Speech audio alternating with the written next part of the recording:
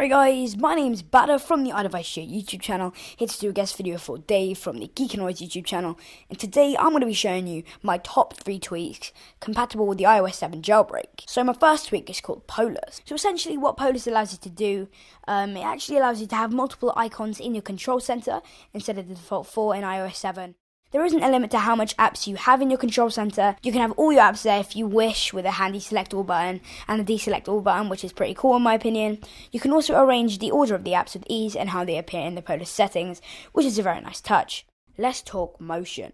Motion is a tweak which gives you the feature of your icons moving freely in your home screen. Spinning about, jumping about, fading in and out, the lot is there. And you can also customize your options in the settings app for motion.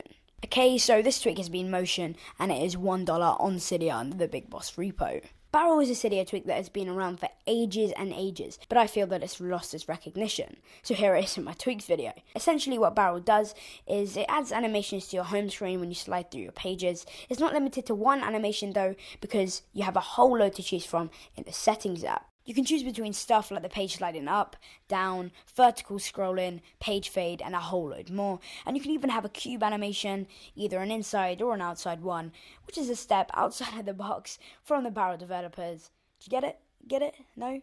So thank you for watching this super quick video guys, I hope you enjoyed it. I'd like to say thanks to Dave for allowing me to do a guest video on his channel.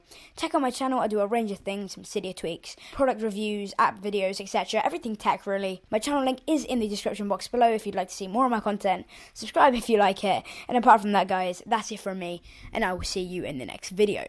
Thank you very much for watching. If you want to see another video of mine, please do click the annotation on the top of your screen now.